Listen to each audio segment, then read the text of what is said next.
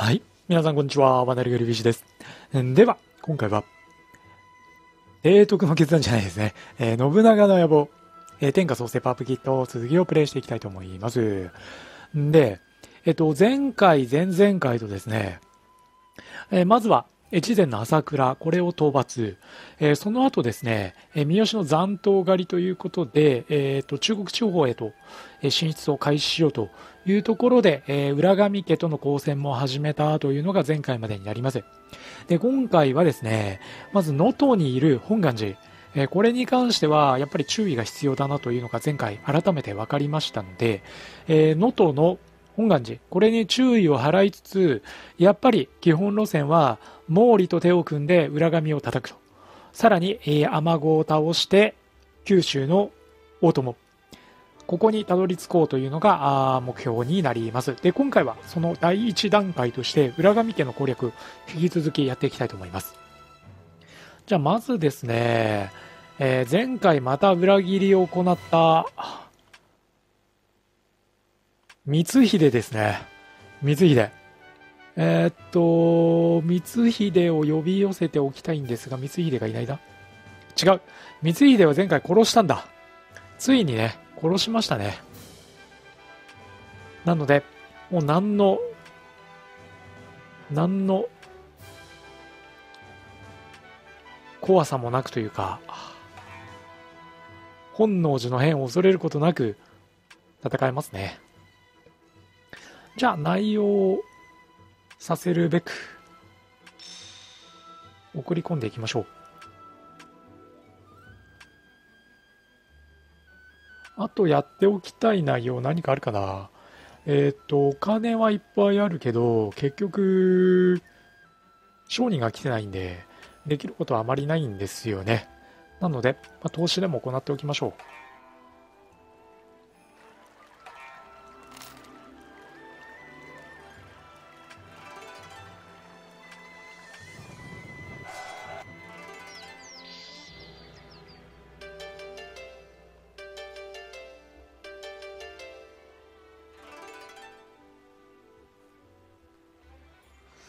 では早速軍事行動に移りましょう。まあ、能登の本願寺は一旦放置をしておいて、まずは姫路城ですね。あーここは明石もいれば宗春もいるし直家もいるとなかなか強敵揃いだなで左近は馬は600しかいないのかだとしたらちょっと一旦輸送で左近のいる御所に馬を集めよう。馬の数がちょっと足りないので。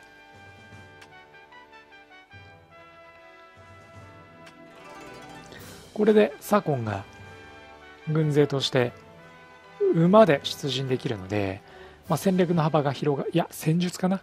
戦術の幅がだいぶ広がるはずです。勝家は出てこないか。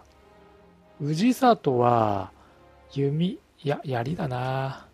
で半兵衛のところに竹部山に少し鉄砲を輸送しましょう。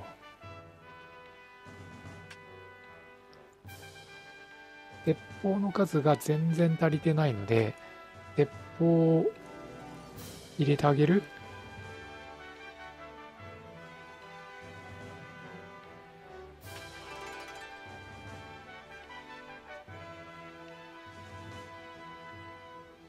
岐阜結構鉄砲溜め込んでるね。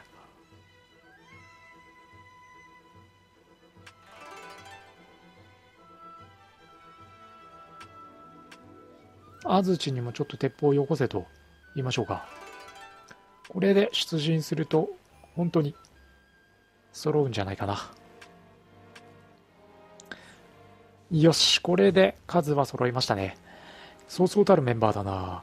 信長半兵衛さらに重秀に正勝秀吉左近に一正氏里いやーむちゃくちゃ強いな氏里ってちなみに今統率78かで、えー、一正が84左近が85秀吉が81えっ、と小六があ81で、90か、鈴木茂秀。さすがだな。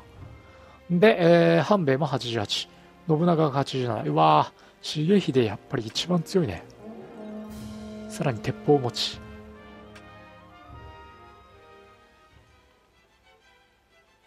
お、星ちゃんだな、星ちゃん。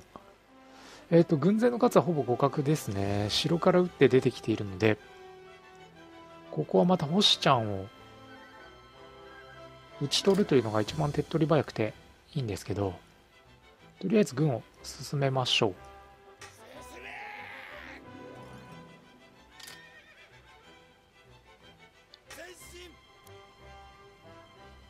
まあ、野戦になればね、統率力が高い方がもちろん有利にはなるので、これはむしろ願ったり叶ったりと。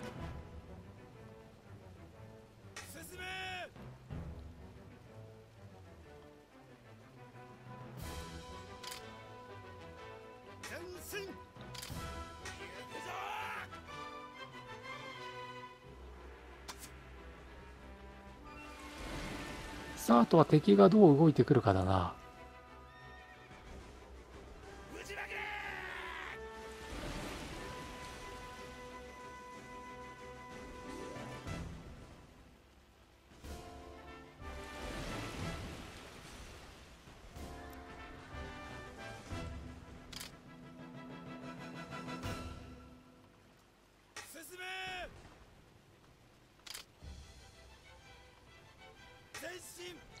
本陣を抜かれるのだけは避けたいので、ちょっとそうならないような注意だけは必要ですね。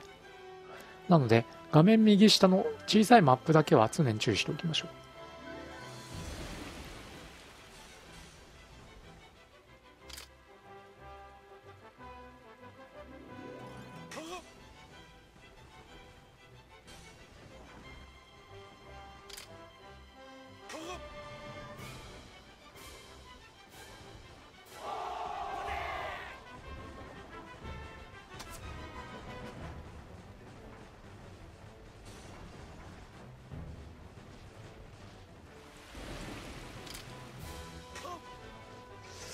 なんとかここは持ちこたえて、まずは砦を1個おろしたい。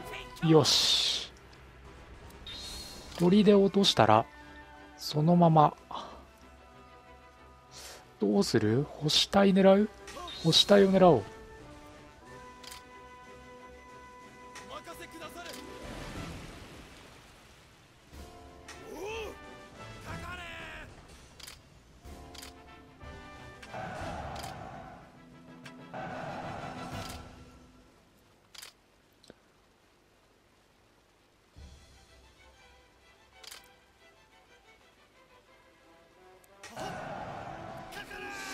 星を逃がすな。打ち取れ。よし。追撃だな。これで姫路城の城内まで追撃。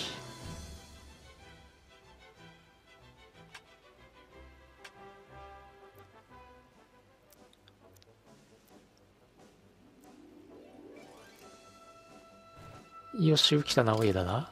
いや、姫路城さすがよ。城は硬そうだな、この姫路城。そう簡単には落とせないか。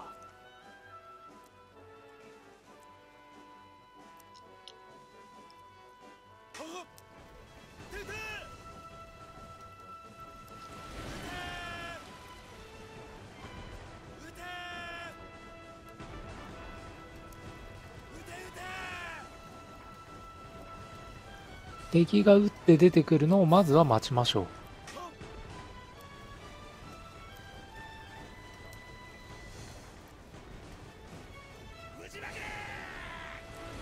で出てきた敵を確実に仕留める。宗春か。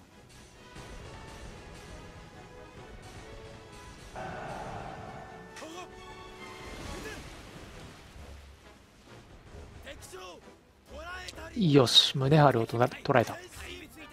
そしたらまた戻って。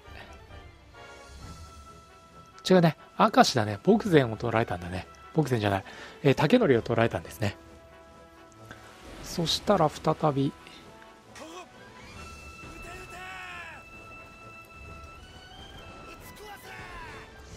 どうする？力攻め行ってみる？門の守りいないよねだって今。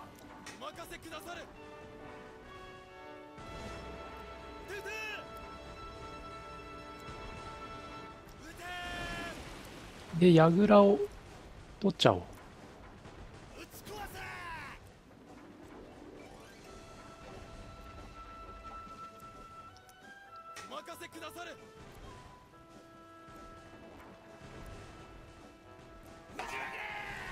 いや小天使か。小天使はきついわ。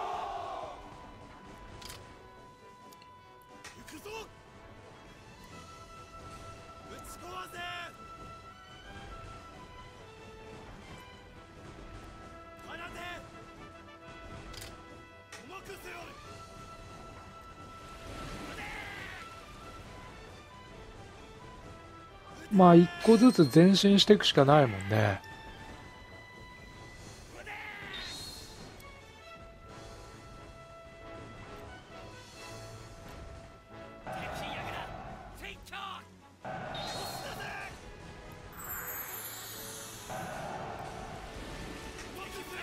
よし。都市活隊がいるな。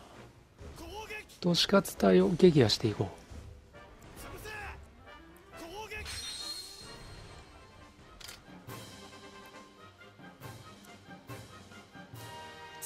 がどこに入っていくんだ？いや、なかなかきついぞ、この門は。次はここだな。よし、都市活つかめたな。そしたら、一回、誰が壊滅した？氏里か。一回コブ使っとこ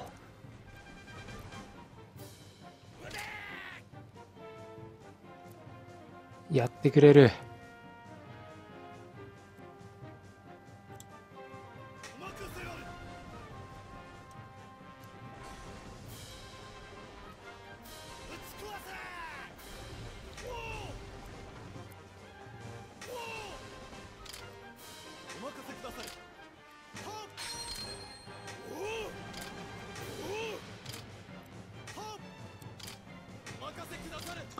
直家め、厄介だな。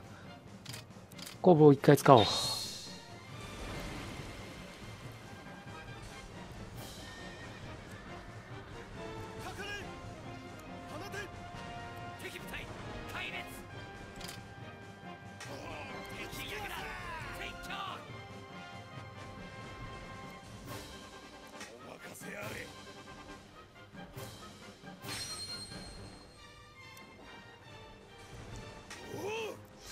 とかこの姫路城、今回のターンで終わらせたいね。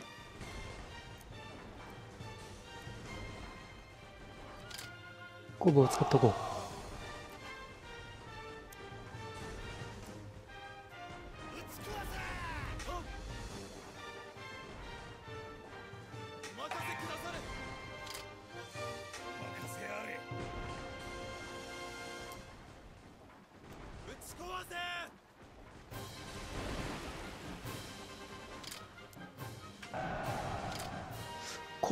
使っておきたいんだけど、コブ使いがいないか？いるね。左近様々だな。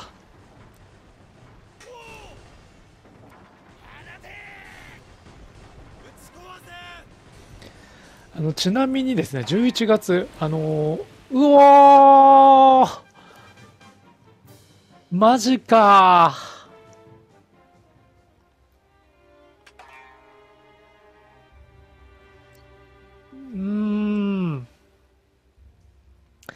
もうちょっとだったんだけど、時間が足りなかったですね。いやー、竹のりは、引き入れなかったけど、処刑しよう。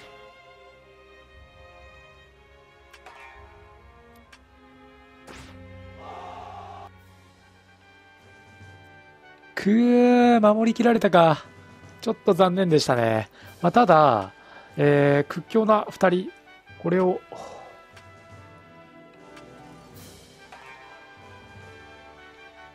処刑することができたので、まあ、まずはよしとしますか。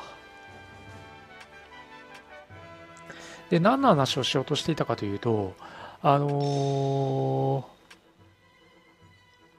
ー、11月に前の動画でもお話したことあったかもしれないんですけど、あの、海外のね、マラソン大会にいよいよ初出場をするということで、まあ、その様子をちょっと動画にでも撮ろうかなと思って、えっと、ソニーのアクションカム僕使ってるんですけど、あの、それに使うジンバルをね、えー、購入しました。なので、まあ、ちょっとね、そのジンバルで撮ったマラソンの動画とかも、あのー、なんかの時にね、見せることができればいいかなっていうお話をしながらのんびり姫路城が落ちるのを見届けようと思ったら、時間切れでギリギリ落とせなかったんですね。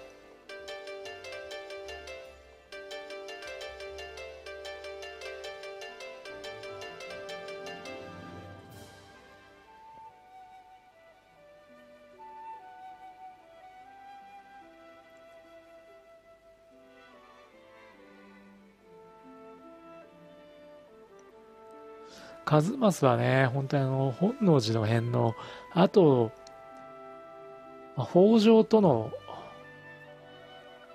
まあ、向き合い方というか、そこがいけてなかったのか、ついてなかったのか、あれでちょっとね、えー、小田家中の中で評判が落ちたというか、格が一つ下がっちゃいましたよね。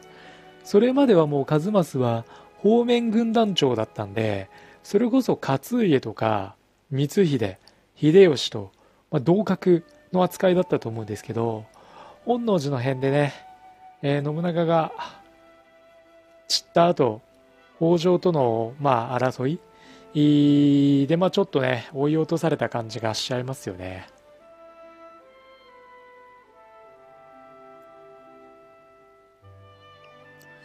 あの個人的にはね、数正結構好きな武将ではあるんですけど、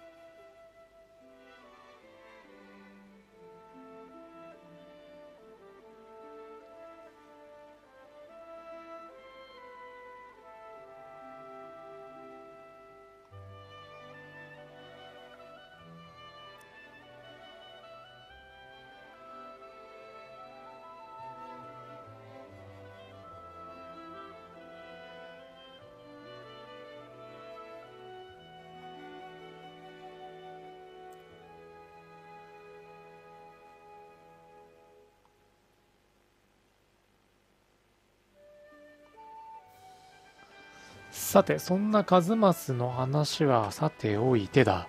姫路城攻略。行っていきましょう。氏里は長槍に変更して出陣だな。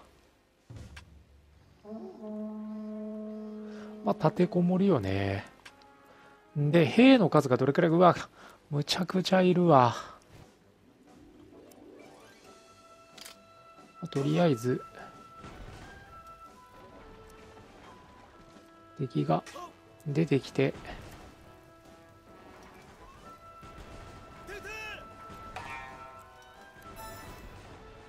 まずは退路を断ちましょう。敵の退路をね。我慢して敵の退路をしっかり断つ。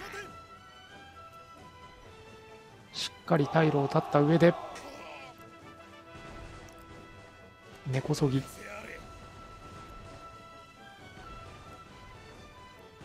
ぶったたいていくと。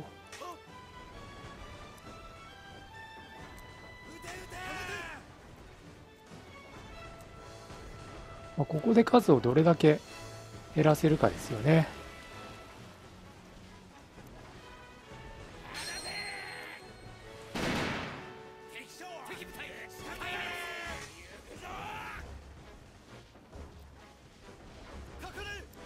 ちょっとね見づらくなっちゃってますけど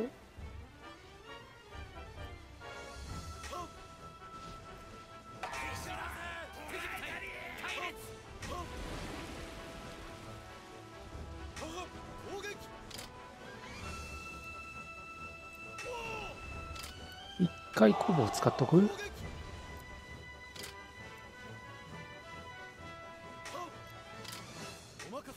で天守を。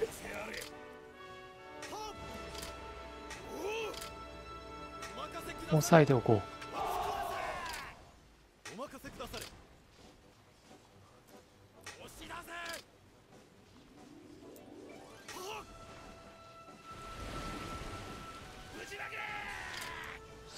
か、ここに宗春がいるんだな。この宗春は先に打ち取っておこ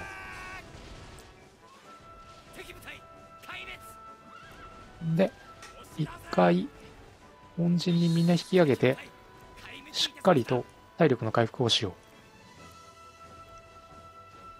う。A の回復と式の回復ですね。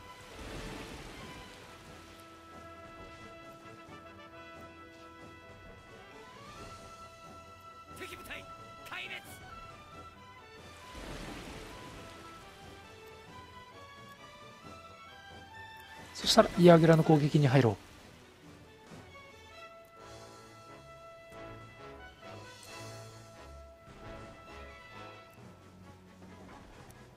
か入られたか。入られたんだったら、こっちを先に叩く。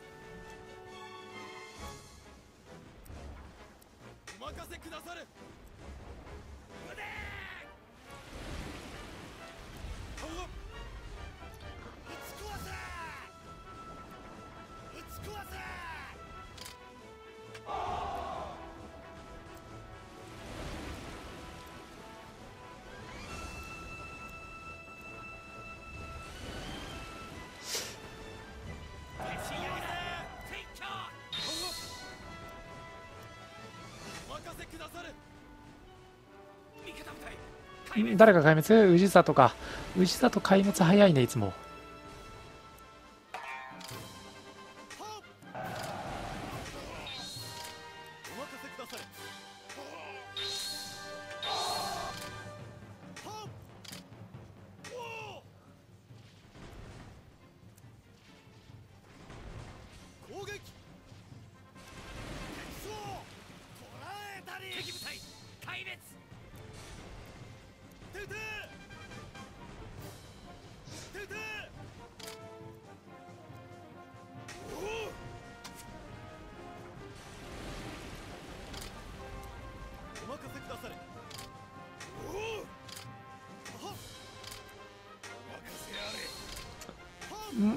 待って待って秀吉が改装してる？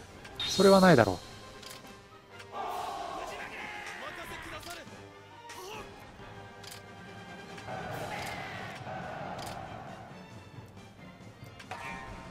う。だは半兵衛の挑発はならなかったものの天守は落としたね。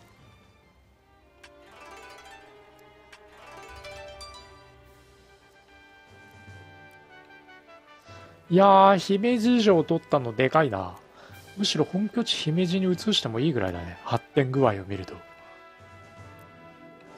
じゃあ早速武将を配属していこう。まあ、左近とか、もう移しちゃうのがいいかもしれないな。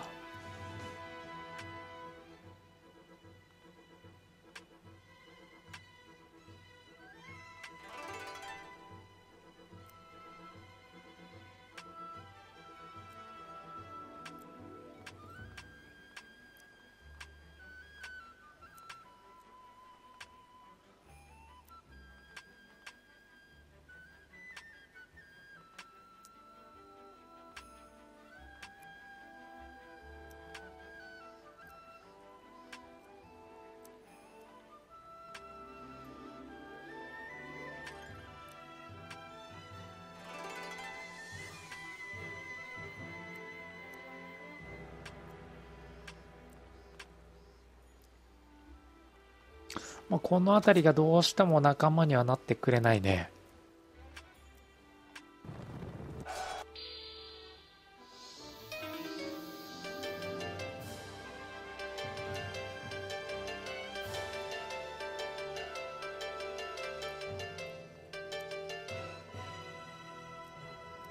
さて、間髪入れずに攻略戦していきましょう。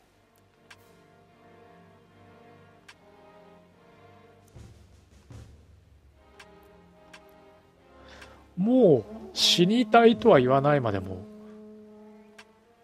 裏上家、そんなに強力な武将残ってないんじゃないの？いやー、そんなことないね。えー、直家に宗春がいれば十分だな。まあ、今回その、宗春なり、直家なりを打ち取っておきたいですね。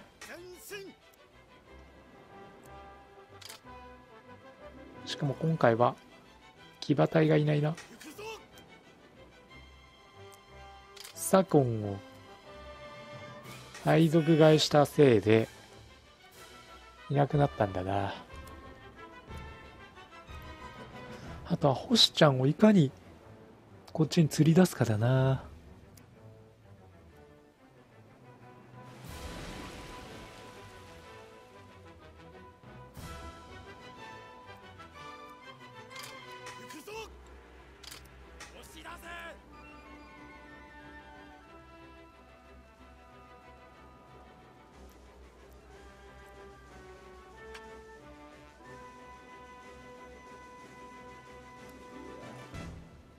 まあ、直家の統率72、宗春の統率77。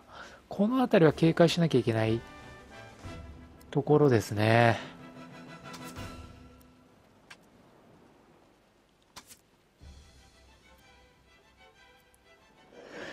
すいません。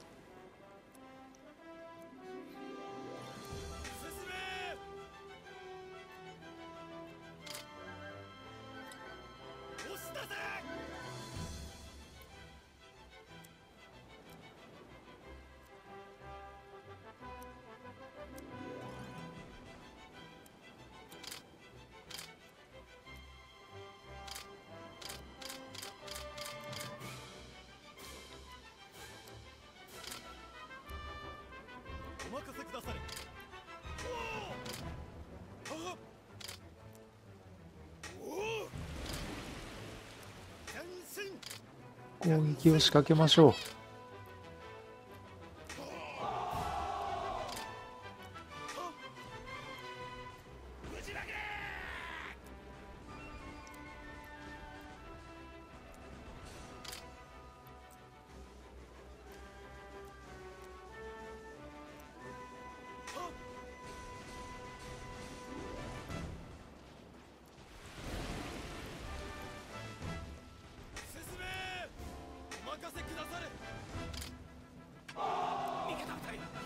早いよ。左近の壊滅が早すぎる。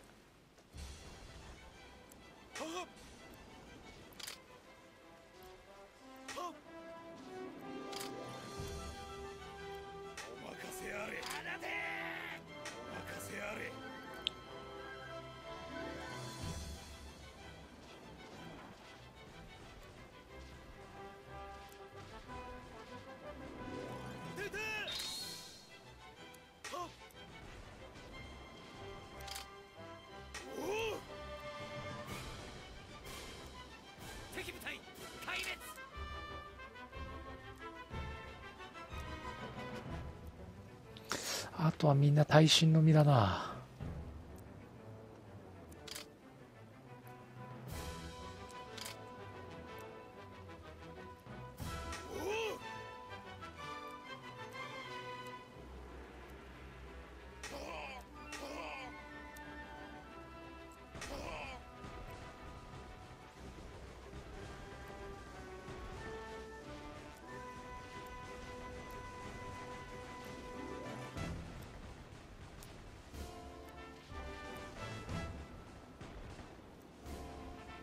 がすなよ。こん時にね、騎馬隊がいないからこういうことになるんだよね。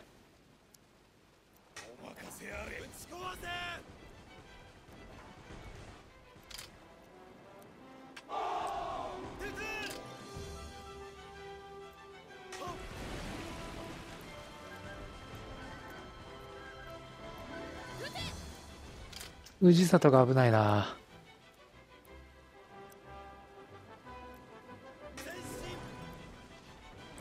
下がれないか、氏里。下がれないか。下がれないね。下がれる。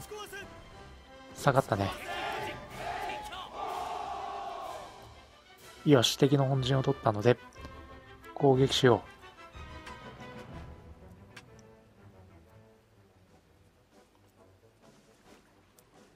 う。まあ、とはいえ天神山、まだまだ硬そうだな。しかも天然の妖怪という感じがするわ。とりあえず、日の宮倉でも削って、敵の出方を待ちましょう。敵が撃って出てくれば、これを撃破できるんで、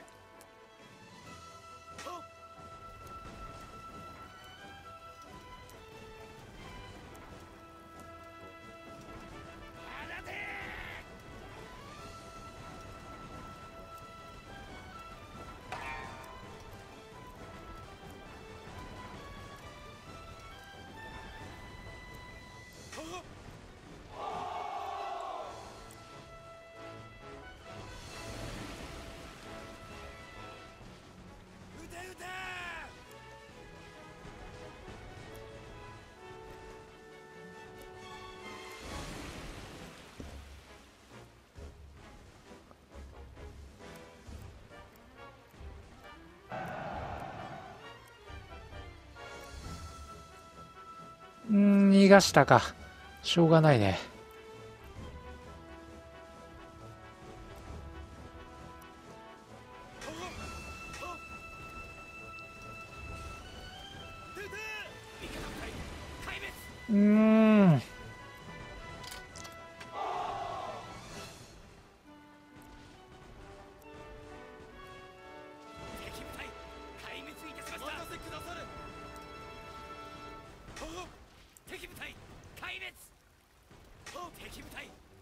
よし、だいぶ壊滅させたよ。壊滅数だけで言うと。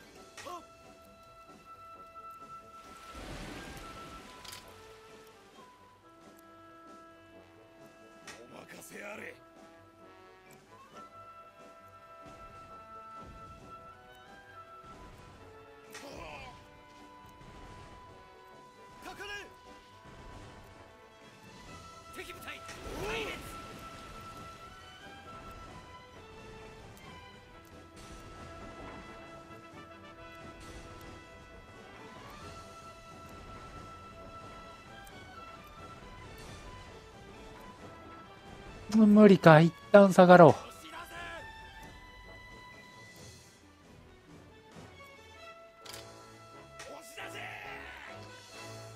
いやー、古物使いがいないと厳しいね。こういう時にね、一気に、式をねじ上げるだけど。まあ、まだ時間はあると思うので、えー、いやー、そんなことないね。時間ないね。残念だな。天神山を落とせるかなという勢いを見せたんですけど。まあ、というわけで、あのー、裏紙を削っていくという戦いをこの後天神山、さらには岡山、残り2つ取っていかなきゃいけないですね。雨子は攻略して、えー、山吹城からあこの大友の城を攻め入るという感じですかね。いや、大友強いからな総武将数57。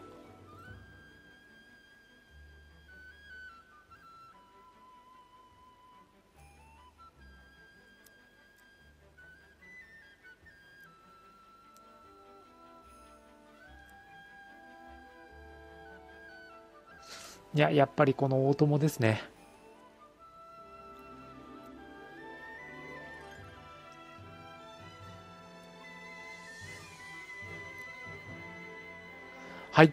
えー、ではね、ちょっと今回、うん、惜しい戦いが何個か続いてしまいましたが、えー、次回またこの続きをしっかりプレイしていきたいと思いますので、えー、皆さんの応援引き続きよろしくお願いいたします。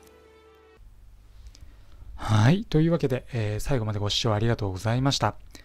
ぜひ、チャンネルの登録、あとはですね、Twitter の方で動画の収録状況と、あとは配信状況、まあ、その他もろもろ情報を発信しておりますので、え興味のある方はぜひツイッターの方もフォローしていただければあ嬉しいなというふうに思います。